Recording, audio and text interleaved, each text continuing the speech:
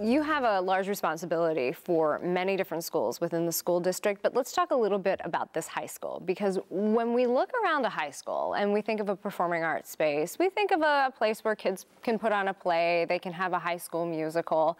But this is really a state-of-the-art facility. Talk to us a little bit about what this space is and how the students are utilizing it.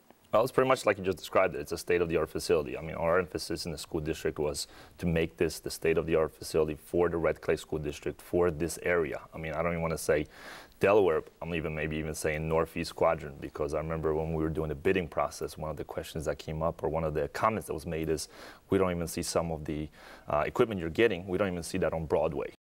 You hear comments like that or the comments that kind of make you go, okay, we're doing something right here.